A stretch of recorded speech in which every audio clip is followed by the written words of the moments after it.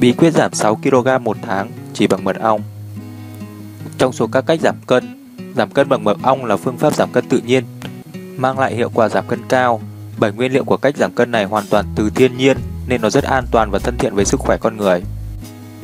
Sau đây là những lý do mật ong giúp bạn giảm cân hiệu quả. Có không ít người nghĩ rằng mật ong sẽ khiến bạn tăng cân bởi vì nó chứa nhiều đường, dễ bị béo nếu là dùng nhiều. Tuy nhiên, đó là một quan niệm sai lầm. Các nhà khoa học đã chứng thực rằng trong mật ong có chứa nhiều glucosa và fructosa là loại đường đơn, dễ hấp thụ, không gây béo.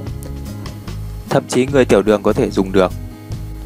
Do đó, tuy gọi là ăn ngọt nhưng lại có tác dụng giảm cân rất hiệu quả. Nhấm nháp vài miếng mật ong, ngay lập tức đánh bay đi cảm giác thèm ăn các món ăn ngọt và giàu chất béo như kem, chè, bánh ngọt. Trong mật ong có chứa hơn 70 vi chất khác nhau, hỗ trợ bạn trong việc giảm cân hiệu quả mà vẫn cung cấp đủ chất dinh dưỡng cho cơ thể, không gây cảm giác mệt mỏi cho cơ thể của bạn.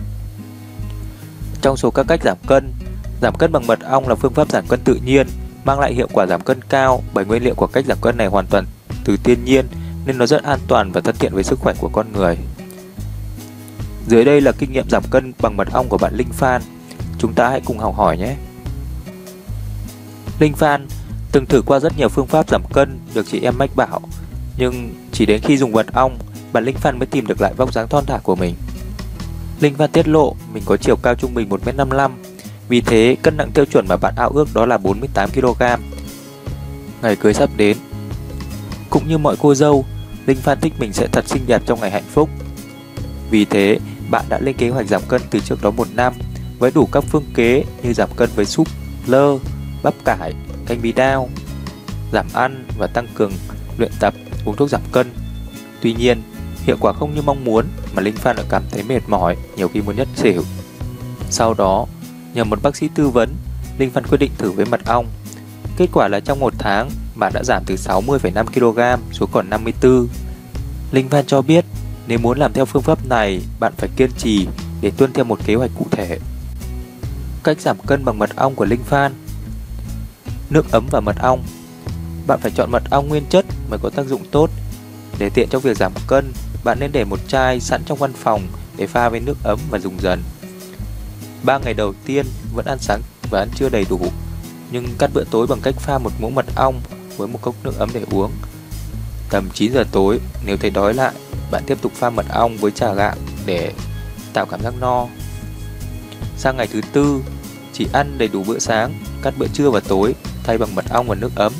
Linh Phan liên tục dùng mật ong bất cứ khi nào mình thấy đói. Vì thế có ngày bạn uống tới 3 lít nước. Sau một tuần thực hiện, Linh Phan giảm được 1,5 kg. Bạn tiếp tục duy trì chế độ ăn như vậy hàng ngày. Tuy nhiên, thỉnh thoảng Linh Phan vẫn tự cho phép mình thay đổi bằng cách đi ăn tiệc cùng cơ quan hay đi ăn hàng với bạn bè. Sau một tháng kiên trì thực hiện, Linh Phan đã giảm từ 60,5 kg xuống còn 54 kg. Điều tuyệt vời nhất là vòng 1 không hề bị giảm, trong khi các vòng khác thì gọn hơn rất nhiều. Mật ong cũng giúp Linh Phan không còn bị viêm họng, da đẹp và sáng hơn.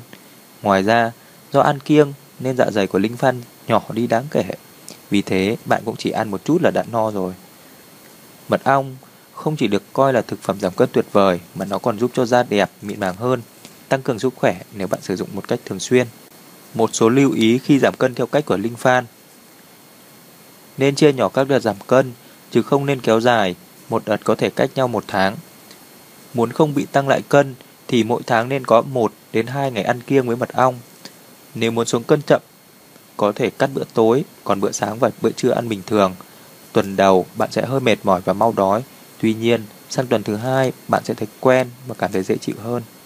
Lưu ý, bạn không nên pha mật ong với nước sôi nóng vì sẽ làm các dưỡng chất quan trọng trong mật ong bị mất và không còn tác dụng nữa.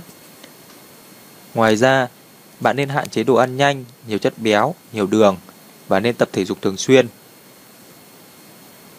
Chúc các bạn kiên trì và thành công!